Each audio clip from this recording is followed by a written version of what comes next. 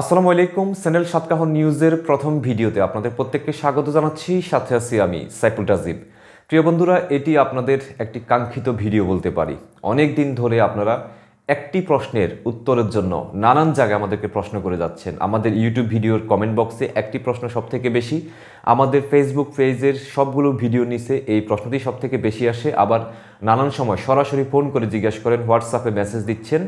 শুধুমাত্র আপনারা না, দেশে থাকা আপনাদের স্বজনরাও আমাদেরকে নানান সময় এই প্রশ্নটি করে থাকেন। সেই প্রশ্নটি হচ্ছে, দীর্ঘদিন ধরে, এক বছর, দু বছর, তিন বছর বা তার অধিক সময় ধরে আপনার কোম্পানি নিয়োগকর্তা, আপনার কপিল, আপনার ইকামা বানিয়ে দিচ্ছে না, আপনার ইকামার মেয়াদ নেই। অন্যদিকে, অনেক সৌদি প্রবাসী ভাইকে তার কোম্পানি, তার কপিল বা তার নিয়োগকর্তা হুরুপ দিয়ে রাখছে, তিনি অবৈধ হয়ে আছেন। বা আপনার কথা বলছি, আপনি অবৈধ হয়ে আছেন। এখন আপনাদের প্রশ্নটি ছিল যে, সৌদি আরবে আউটপাস কবে দিবে? আর আউটপাস যদি না দেয়, তাহলে আপনি কীভাবে দেশে আসতে পারবেন? আবার অনেকে জিজ্ঞেস করেন যে, দেশে আসার পরে আমি আবার কীভাবে সৌদি আরবের নতুন ভিসায় যেতে পারব বা নতুন ভিসায় যাওয়ার সুযোগ আছে কিনা? আজকের এই ভিডিওতে আপনাদের এই প্রশ্নগুলোর উত্তর জানাব। গুরুত্বপূর্ণ এই ভিডিওটি আপনি আপনার সকল বন্ধুদের সাথে শেয়ার করবেন, যাতে করে যাদের এই প্রশ্নটি আছে, তারা যেন এর উত্তরটি পেতে পারে। সবার আগে বলি যে গত বেশ কয়েক বছর ধরে সৌদি সরকার আউটপাস দিচ্ছে না। এবং আরও সহজ করে বললে আউটপাস দেওয়ার কোনো সম্ভাবনা এই মুহূর্তে দেখাও যাচ্ছে না। যেমন দু হাজার একুশ সালে আউটপাসের জন্য অনেকে অপেক্ষা করছেন সেটি পাননি। দু হাজার বাইশ সালেও আউটপাস দিবে বলে এমন সম্ভাবনাও দেখা যাচ্ছে না। যদি আউটপাস দেয় তাহলে সেখানে কি হয়? অনেকে আউটপাসকে নিয়ে বিভিন্ন কিছু ভাবেন। যেমন আউটপাস দিলে দুটাভাবে দিতে পারে। প্রথমটা হচ্ছে যারা অবৈধ হয়ে আছেন, যাদের ইকামার মেয়াদ নেই, হুরুব আছে বা নানানভাবে ওমরাতে গিয়ে সেখানে আটকা পড়ে আছেন, এমন যারা আছেন আউটপাস দিলে আপনারা যেটি করতে পারবেন, জেল জরিমানা ছাড়া আপনারা দেশে আসতে পারবেন। আপনাদেরকে একটি আউটপাস দিয়ে দিবে। আপনি সেটা নিয়ে আউটপাস বলতে সেটি হচ্ছে একটি এক্সিট ভিসা ওই এক্সিট ভিসাটা দেওয়ার পরে আপনারা কনসুলেট বা দূতাবাসে গিয়ে সেখান থেকে একটা ট্রাভেল পাস নিয়ে জেল জরিমানা ছাড়া আপনি নিজের টিকিট কেটে চলে আসতে পারবেন। এটি হচ্ছে আউটপাস যে দে বা তার একটি সুযোগের কথা বলছি। আরেকটি আউটপাসের সুবিধা হচ্ছে যেমন অবৈধ যারা আছেন, যাদের কাগজপত্র নেই ডকুমেন্ট নেই, বৈধ ডকুমেন্ট নেই তাদেরকে বৈধ হওয়ার একটা সুযোগ দেওয়া হয়। এটি আসলে বেশ কয়েক বছর আগে সৌদি সরকার একবার দিয়েছিলেন। এখন নতুন করে আর সেটি দিচ্ছেন না।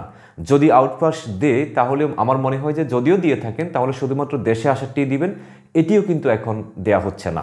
তাহলে এই যে অনেকেই যে সেখানে অবৈধ হয়ে আছেন, আটকা পড়ে আছেন, আপনি কীভাবে আসবেন? এইটি তো আপনাদের প্রশ্ন। সেই প্রশ্নের জবাবে আমরা নানান সময় আপনাদেরকে বলেছি, এটির একটি মাত্র পথ এখন খোলা আছে, সেটি হচ্ছে আপনাকে বাংলাদেশ দূতাবাস রিয়াদ অথবা বাংলাদেশ কনসুলেট জেদ্দা সহায়তা নিতে হবে। কীভাবে নেবেন সেটি? কথাগুলো যদি আপনারা মনোযোগ সহকারে শুনেন এবং ভিডিওটি শেষ পর্যন্ত কথাগুলো শুনেন তাহলে এই প্রশ্নটি আর আসবে না। যেহেতু এখন সৌদি সরকার আউটপাস দিচ্ছে না কিন্তু আপনার দেশে আসা জরুরি। এক্ষেত্রে আপনার করণীয় কি? সবার আগে আপনাকে যেটি করতে হবে আপনাকে সশরীরে যারা রিয়াদ দূতাবাসের অধীনস্থ শহরগুলোতে থাকেন যেমন দাম্মাম খোবার আল কাসিম আহ, থেকে শুরু করে ওই শহরগুলোতে যারা থাকেন, আপনাদেরকে আসতে হবে রিয়াদ দূতাবাসে।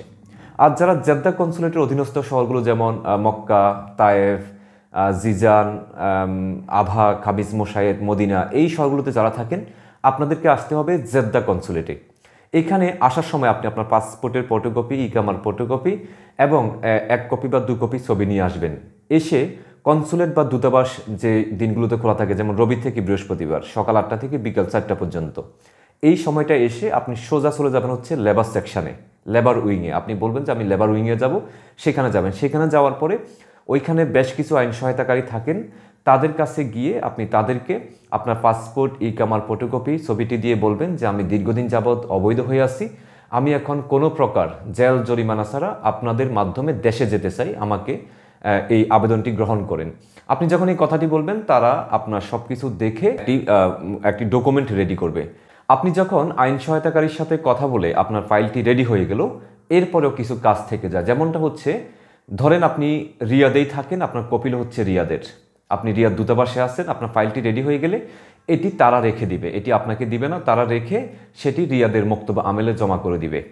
আর ধরেন যে আপনি রিয়াদের বাইরের কোনো শহরে থাকেন, যেমন আলকাসিম ভুরাইদা বা যে শহরগুলোর কথা বলছি দাম্মাম, খোবার, যদি আপনি এইসব জায়গাতে থাকেন, তাহলে আপনার ফাইলটি আপনাকে দিয়ে দিবে। আপনাকে দিয়ে বলবে যে আপনি এই ফাইলটিকে আপনার কপিল যে জায়গার, আপনার কপিল যেখানে, আপনি সেখানকার মুক্তবামেলে নিজে গিয়ে এই ফাইলটি জমা করে দিবেন। ঠিক একইভাবে যারা জেদ্দায় থাকেন, জেদ্দা কনসুলেটে গেলেন, আপনার ফাইলটি কনসুলেট কর্তৃপক্ষ রেখে দিবেন, তারা নিজ দায়িত্বে সেটি জমা করবেন। আর যারা মদিনা, তায়েফ, জিজান, আবা, খামিজ, মশাইতে যারা থাকেন, আপনাদের ফাইলটি আপনাকে দিয়ে দিবে। আপনাকে দিয়ে বলবে, আপনি এই ফাইলটিকে যেখানে আপনার কপিল থাকে, সেখানে গিয়ে জমা করে দিবেন।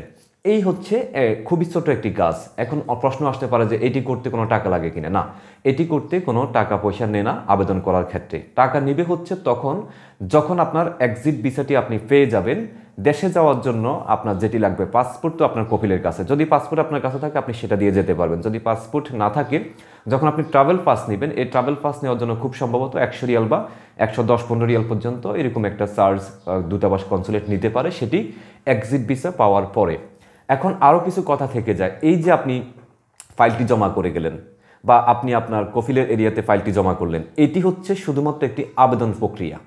আপনি শুধুমাত্র আবেদনটি করলেন। এখন আপনাকে এই এক্সিট দিবে কি না এটি সিদ্ধান্ত নেবে হচ্ছে সৌদি সরকার বা সৌদি আরবের জাওয়াজাত।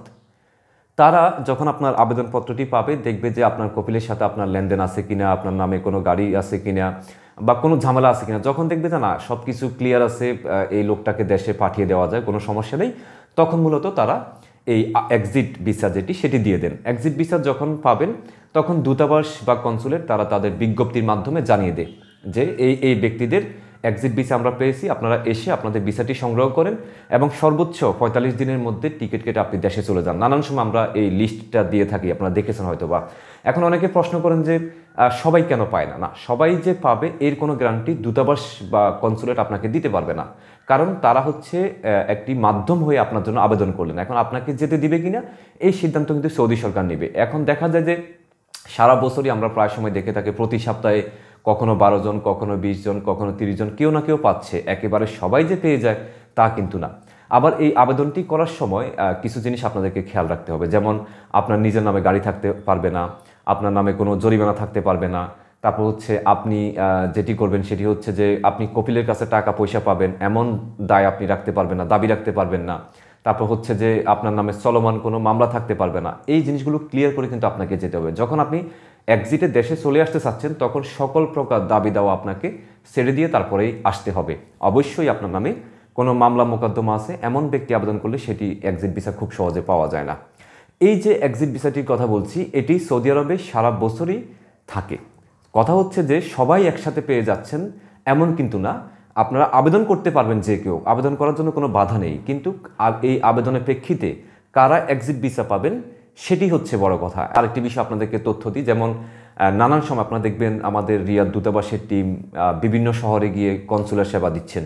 জেদ্দা কনসুলেটের টিম বিভিন্ন সময় মক্কা, মদিনা তায় বিভিন্ন জায়গায় যাচ্ছেন। ওনারা যখন এই শহরগুলোতে যায়, আপনারা যদি সরাসরি দূতাবাস কনসুলেটে আসতে নাও পারেন, সেখানে গিয়েও কিন্তু আবেদন আবেদনটি করতে পারবেন। ওই একই নিয়মে আপনারা সেখানে গিয়েও আবেদন করতে পারবেন। এই আবেদন করার পরে যদি আপনার কপাল ভালো হয় এক্সিট ভিসাটি যদি আপনি পেয়ে যান, তাহলে আপনি কনসুলেট বা দূতাবাসে এসে ভিসাটি সংগ্রহ করবেন, এক্সিটের পেপারটি সংগ্রহ করবেন। এরপরে তারা যেটি বলে তিরিশ থেকে পঁয়তাল্লিশ দিনের মধ্যে আপনি টিকিট কেটে সবাই যেভাবে আসছে আপনি সেভাবে বাংলাদেশে চলে আসতে পারবেন। এটি হচ্ছে আসার নিয়ম। এখানে আরেকটি জিনিস বলে রাখি যাদের ই কামার মেয়াদ নেই ই কামার মেয়াদ না থাকার কারণে এক্সিট ভিসা নিয়ে আসতেছেন দূতাবাস কনসুলেটের মাধ্যমে। এমন যদি কোনো ব্যক্তি থাকেন, এমন যদি কেউ এক্সিট ভিসা পেয়ে থাকেন, তাহলে আপনারা পুনরায় নতুন ভিসা দিয়ে সৌদি আরবে প্রবেশ করতে পারবেন যে কোনো সময়। আর যাদের ই কামাতে হুরুপ দেওয়া আছে, আপনি কনসুলেট বা দূতাবাসের মাধ্যমে আসলেন, এমন ব্যক্তিরা কিন্তু তিন থেকে পাঁচ বছর সৌদি আরবে নতুন ভিসায় প্রবেশ করতে পারবেন না। তিন থেকে পাঁচ বছর পরে আপনারা নতুন ভিসা সেখানে যেতে পারবেন, এই বিষয়টি মাথায় রাখতে হবে। অন্যদিকে আমরা প্রায় সময় যে খবরটি দেখতে পাই, অনেকে ফেসবুকের মাধ্যমে বিজ্ঞাপন দিচ্ছেন যে আমরা এক্সিট লাগিয়ে দিচ্ছি, আমরা দেশে পাঠাবো। এই দালাল বা যে একটা সফটওয়্যার কথা বলছি, ওদের কথা। এই বিষয়ে আমি আপনাদেরকে একটা জিনিস ক্লিয়ার করতে চাই। আসলে এখানে একটা একটা জিনিস কিন্তু মানতে হবে, সেটা হচ্ছে এক্সিট ভিসা যেটি, সে এক্সিট ভিসা একমাত্র সৌদি আরবের জাওয়াজাত বা সৌদি সরকারই দিচ্ছেন। এটি কোনো বাংলাদেশের পক্ষে বানানো বা প্রস্তুত করা সম্ভব না।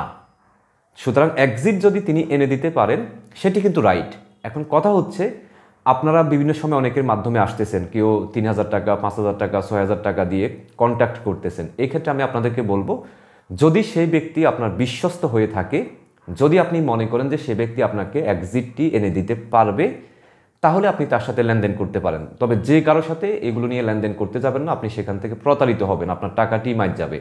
আমি যেটি সাজেস্ট করব, আমি যেটি বলব সেটি হচ্ছে, একটু কষ্ট করে হলেও দূতাবাস বা কনসুলেটের মাধ্যমে আসার চেষ্টা করবেন। আর তাদের মাধ্যমে যদি আপনি আসেন, তাহলে সেটির দায়ভার সম্পূর্ণ আপনাকেই নিতে হবে। তবে অনেকেই আসতেছেন।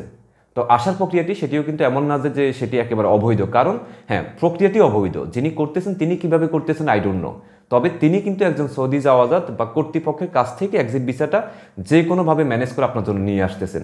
এখন তিনি যদি সে দায়িত্ব নিয়ে নিয়ে আসতে পারে, আপনি যদি তাকে বিশ্বাস করতে পারেন, সেটি আপনার ব্যাপার। তবে এভাবেও কিন্তু অনেকে আসতেছে যারা কনসুলেট দূতাবাসের জন্য অপেক্ষা করেন না। কারণ আপনি যখন কনসুলেট বা দূতাবাসে আবেদনটি করবেন আপনার সেখানে ক্ষেত্র বিশেষে কখনো পঁয়তাল্লিশ দিন, কখনো দু মাস, কখনো তিন মাসও লাগতে পারে।